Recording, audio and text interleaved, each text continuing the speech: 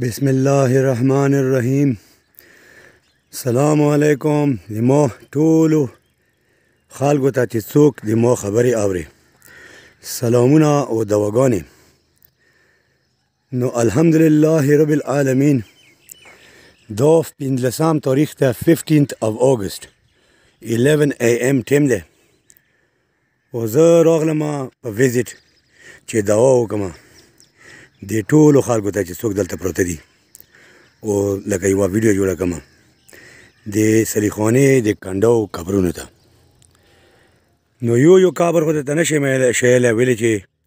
ډیر زیات خلک دي او بل زیات لکه هډ سټونز په دې کې په وردو منې لیکلي نو بیا په هغه کې منه غلطي کیږي که زه پړوم نو خو چې کوم پړوم که انګریزي ولا مې ولیدو آب پکې یو څو قبرونه وشیم او پړو به کوم په ټولو کې اول کاور ته چې زه وې سما نو الله پاک ته وبخي دوه دې مو دې پلور کاور دی هیډ سټون مې درته وښیلو او دا پورا قبر دی الله پاک دې وبخښي دا د مو پلار قبر دی بیا زه اوس د قبرونو یعنې بل سار ته زه اوس راغلم دې لوکیشن به اول زه تاسو ته رسیب پورا په کیمرا باندې وشم اې دې طرف قبرونه خو بیا به فوکس وکم په دویم قبر چې هډ سټون دې ته وشم دو هډ سټون دې او دو قبر دې دې مو دې نیکه الله پاک دې وبخي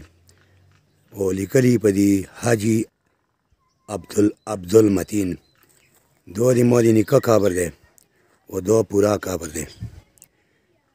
ای مودی نیکه په ټولو قبرونو کې په دې قبرونو کې په ټولو کې سرینه ځای او الله په اکبر کو په دې ټولو قبرونو کې سرینه کابرو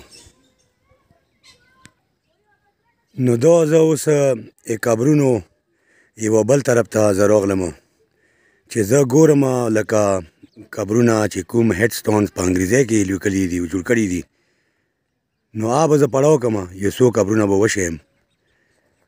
چې کوم رمنې سرینی پیشو چويس پکې نه کوم بس چې څنګه ګرځم او وینم آب د تشیم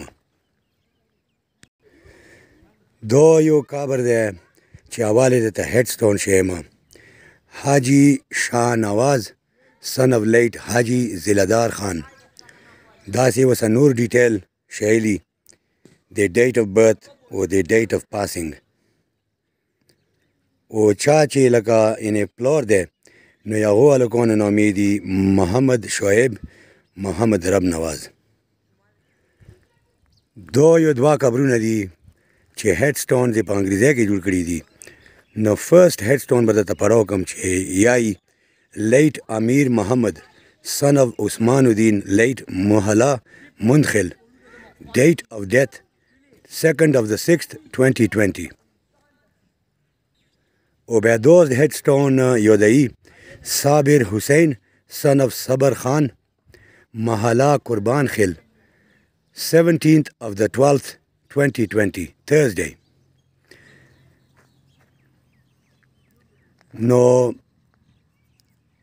داور نه یره شوه خپه کېږې ما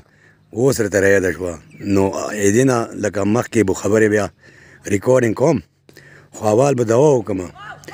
چې یا رب العالمینه دا څوک چې په دې قبرونو کې پروته دي رب العالمینه دا ټول ته را به وبخې او رب العالمینه که څه ګناه کړي وي نو معافې کې